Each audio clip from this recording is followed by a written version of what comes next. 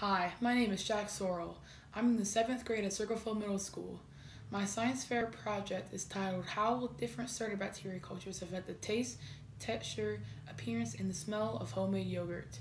My hypothesis was if I were to use different starter bacteria cultures, then they would change the taste, texture, appearance, and the smell of homemade yogurt because different bacteria will react differently in the milk. The materials that I needed to test my hypothesis were yogurt maker, 8 6 ounce glass jars with lids cleaned with warm soapy water, 6 cups of whole milk, a measuring cup, 1 4th measuring cup, yogurt starter at room temperature, medium sized saucepan, candy thermometer, funnel, whisk, warm water, spouted bowl, towels, stirring spoon, and a small scraper. In order to do my project, I first had to learn about how yogurt is actually made. To make yogurt, milk has to be heated to a certain temperature, then cooled, and the starter bacteria culture added in. Then the resulting mixture has to be kept warm enough for many hours to promote fermentation. Fermentation is when a substance such as milk gets broken down by something such as the good bacteria in live active cultures and gets changed into a different substance like yogurt. During the fermentation of the milk, lactic acid is what is made from the good bacteria eating the sugars or lactose in the milk. The lactic acid makes the milk thicken and gives it a sour taste.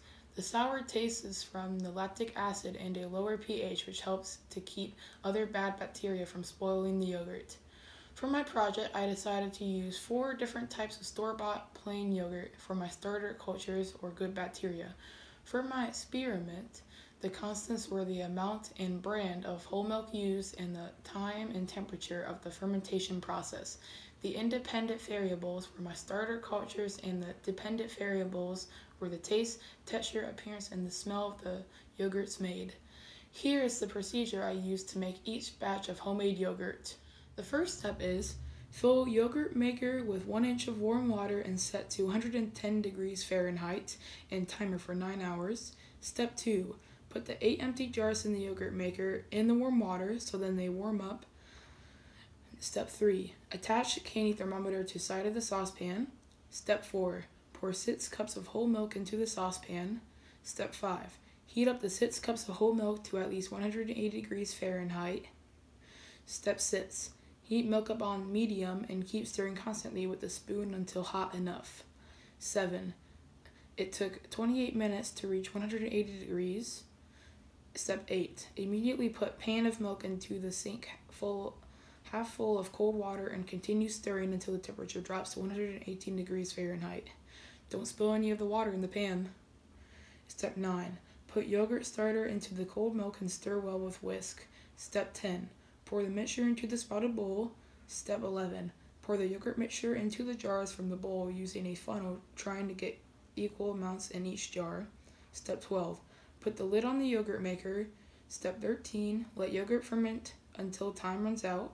Step 14. As soon as or a little after the yogurt is done fermenting, put the lids on the jars and place them in the fridge for a couple hours to chill. Step 15. Enjoy. Based on the results of my experiment, I proved my hypothesis right.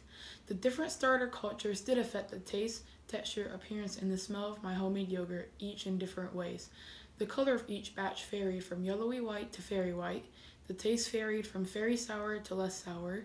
The texture varied from smooth and creamy to thick and grainy. And the smell varied from cream cheesy to vanilla Each starter culture contained different combinations of live and active good bacteria. They all listed L. acidophilus, but the other bacteria must have affected the characteristics of the yogurt. Culture 2 had five live bacteria types listed including L. acidophilus, making it the fluffiest texture.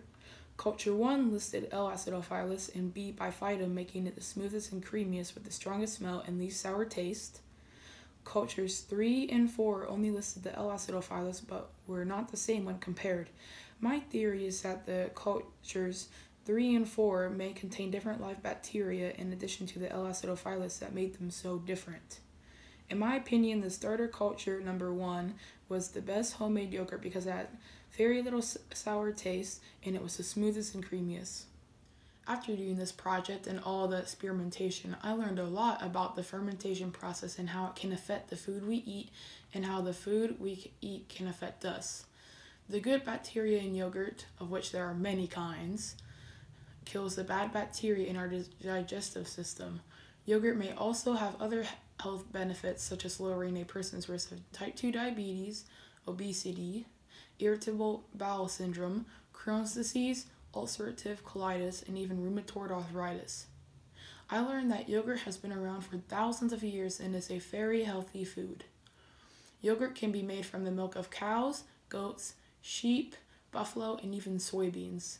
It has been an amazing and fun experience to learn about and make my own yogurt. I discovered that making homemade yogurt is easy and fun, especially when you have a yogurt maker. Yogurt is a super healthy snack or dessert for anyone. Depending on the different live and active bacteria cultures in the yogurt, it will taste, feel, look, and smell different, so there should be a yogurt type out there for everyone.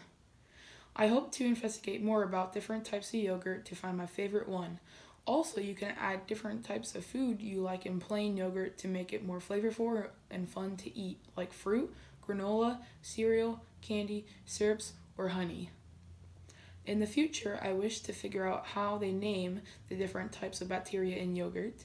I'd also like to know why they don't name all of the different bacteria in yogurt brands and how do you find out what bacteria are actually in the yogurt.